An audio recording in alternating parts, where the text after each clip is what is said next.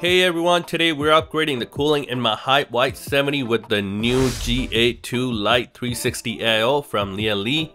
We're installing this AIO with the custom push-pull fan setup using the stock GA fans and some Lian Li TL120 wireless fans that I already had laying around. And we're going to be cooling the Ryzen 9 9950X on AM5 which tends to run hot so cooling does matter.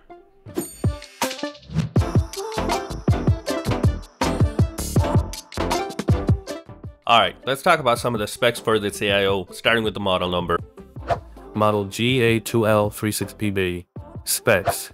Pump runs at 3800 RPM. Radiator is 397 by 120 by 27 millimeters. 400 millimeter tube length, single wave aluminum fins. Stock fans push 73.14 cubic feet per minute, 5 millimeters of mercury pressure, and 29.8 decibels A at full blast. Now, instead of running a stock, I'm going to be doing push-pull configuration with my TL120 wireless fans. These fans are going to go sit right underneath the radiator and the GA fans will sit on top of the radiator. These push up to 90.1 CFM airflow with 3.97 millimeters of mercury pressure, 33 decibels A-weighted maximum. They are a good match for GA fans without being an overkill or unbalanced. And now let's start by removing the stock fans and replacing them with the TL120 wireless fans.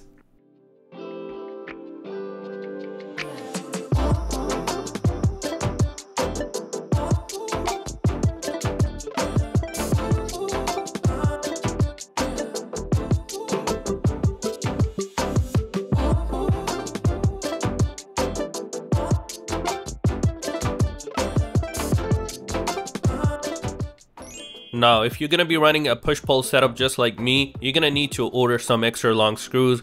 For me, I needed 37 mm for my Hyte Y70 with the bracket being on top with the GA fans.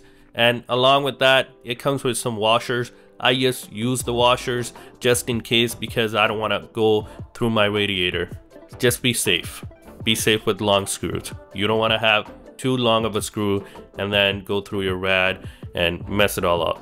So be safe, make sure you do your research according to your case. Alright, let me just address this now before someone drops a paragraph in the comment. Yes, I'm mixing two different fan models in a push-pull setup. And no, it's not going to cause any turbulence, whine, pressure stall, and here's why. Because both of the fans are pretty similar to each other. They're both 120 mm fans, comparable airflow, pressure rating, but the only thing we're doing is running the GA fans 10% faster than the Lian Li fans. And the whole reason behind it is the GA fans will push more air through the radiator with more force since they have higher static pressure, and the TL fans pull more air into the radiator with a higher CFM airflow rating. And in this setup, they're perfectly balanced with each other, and I will show you in BIOS and L-Connect how you're gonna set them up. Now let's start by taking our old AIO off and prepping our PC for the new AIO.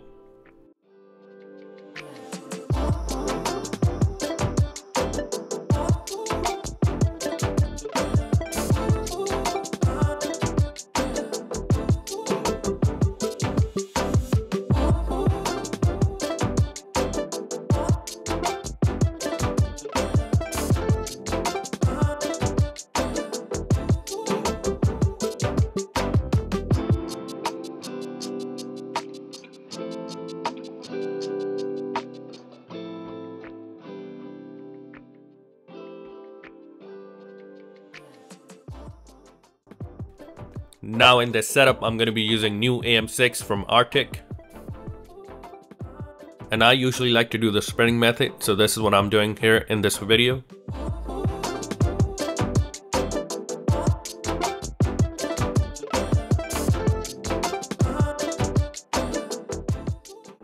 And here we have my supervisor come check on me, making sure I spread the thermal paste perfectly fine, otherwise she'll scratch me or either bite me, because she doesn't like when I mess with her PC.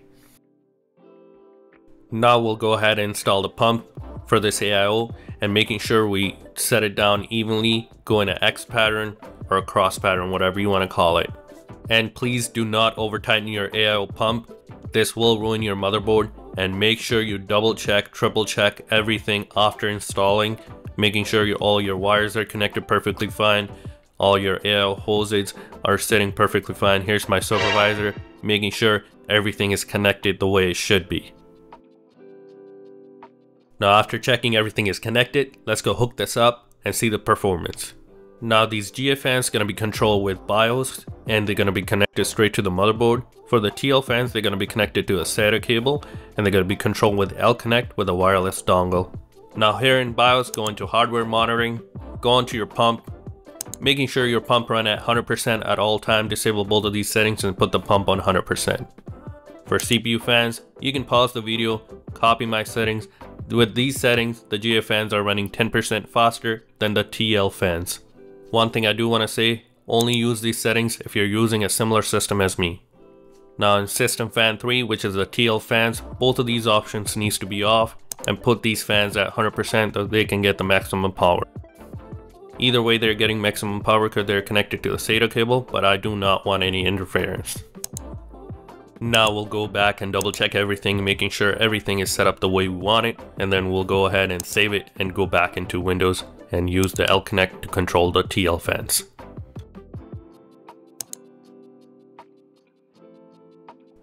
Now let's set up our wireless fans in L-Connect. They're controlled by RPMs, not by percentage. So at 30, we got 520 RPM. For 50, we got 1040 RPM.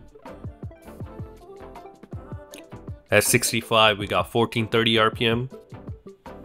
At 80, we got 1780 RPM.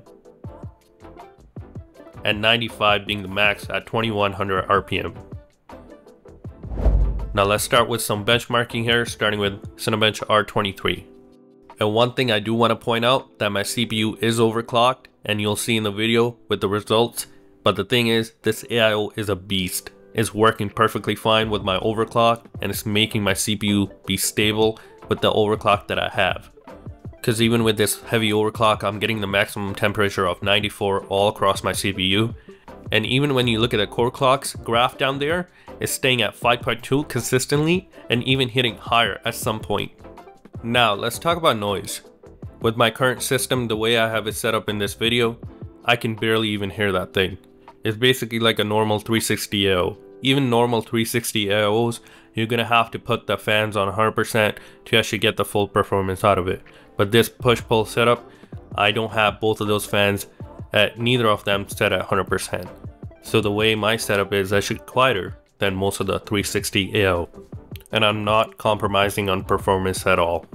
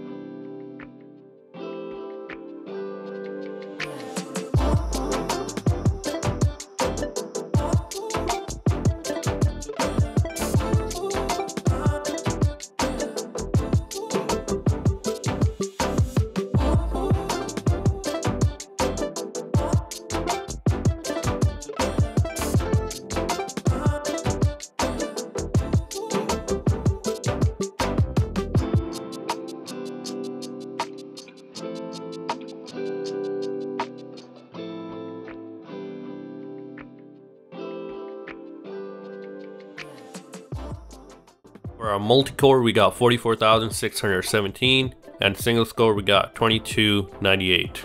Now let's move on to 3DMark.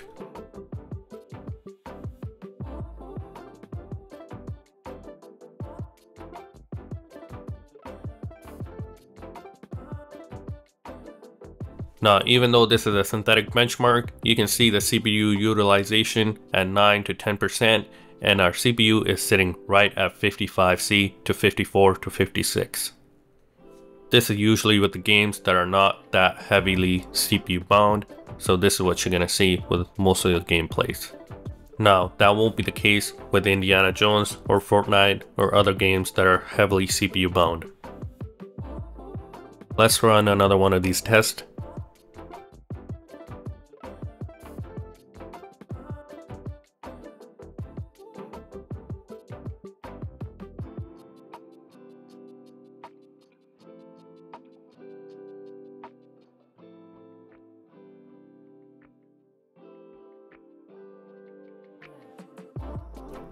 Now even in this synthetic benchmark which is more CPU demanding, it's not hitting anything over 60. It, there's a peak for 60 and then it comes right down.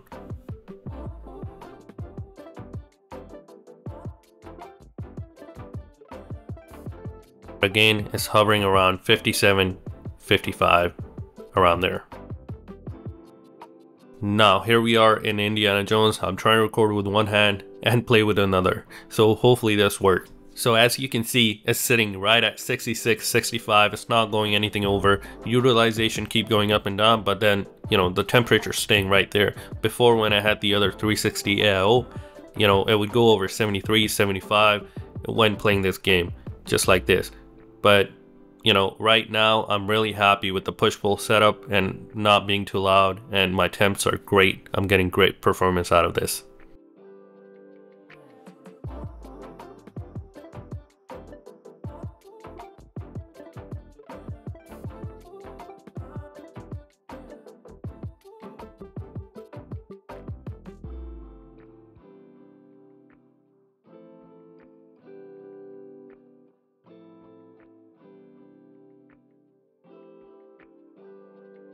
And for my idle temps for my Ryzen 9950X, it's been sitting at 46 to 47 at all times. And you know, whenever I shut down my PC and started the next day, I've seen it sometimes goes down to like 44, you know, when the first initial like setup is. As I use it throughout the day, it stays around 46, 47 web browsing, same thing, 46, 47. So I'm getting a perfect performance out of this AIO. And I hope this video was helpful and entertaining enough. And if you guys liked the video, please like and subscribe and stay tuned for my next video.